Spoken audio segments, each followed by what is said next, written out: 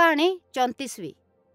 यीशु दूजी कहानियाँ री शिक्षा दें यीशु ने परमेश्वर रे राज्य रे बारे च और बहुत कहानियाँ सुनाई जियाँ कि तिने बोलिया, परमेश्वर रा राज्य एक राया रे बीजा साई है जिते जो किने अपनी बागटी बीजी दित्या, तुसे जाना है भाई राया रा बीज सारे बीजा ते छोटा हुआ।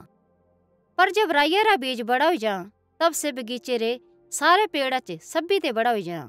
इतना बड़ा कि पंछी तिती डालिया पर आराम कराए यशुआ ने एक और कहानी बताई।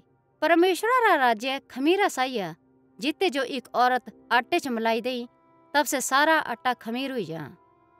स्वर्ग रा राज्य तीस खजाने है जिते जो किने बागटिया च छुपाई था।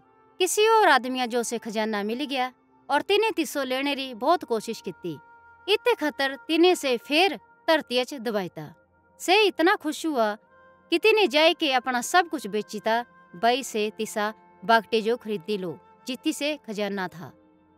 स्वर्ग राज्य एक बहुत महँगा अच्छा मोतिया रे समान जब कोई मोतियारा व्यापारी तिते जो देखी लिया, तब से तिते जो खरीदने खतर अपना सब कुछ बेची दिया। तिथि कुछ लोग थे जो सोचा थे, परमेश्वर इतने खतर इना जो मनांगा भाई ये अच्छे काम करने लगी रे। ए लोग एड़े लोग का जो बुरा मानना है, जो तिना भले काम जो नहीं करते थे इतने खतर यशुआ इना कहानी सुनाई दो लोग थे, दोनों लोग पूजा खतर मंदिर च गए। तिना बीचे च एक लगान लेने वाला था और दूजा एक धर्मी प्रधान था।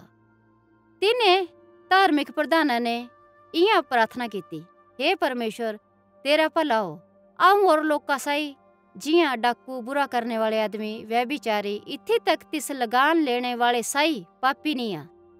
इतने खतरों हफ़्ते च दो बार व्रत रखा और आऊँ मिंजो मिलने वाले तन और समाना रा दसवा हिस्सा तीजो दिया पर से लगान लेने वाला तिस धार्मिक प्रधाना ते दूर खड़ा हुई गया। तिने ऊपर स्वर्गरी तरफ़ नहीं देखा इतरी वजह ते तिने अपने हाथा कने अपनी छाती जो मारिया और प्रार्थना की हे परमेश्वर, माँ पर दया कर, क्योंकि आऊँ पापी आ।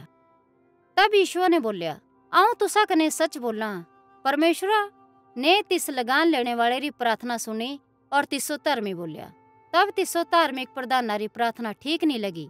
परमेश्वर सभी कमंडी आदमी रे सिरा जो नीचा करगा, परमेश्वर हर तिस आदमी जो पसंद करगा, जो अपो जो दीन करा।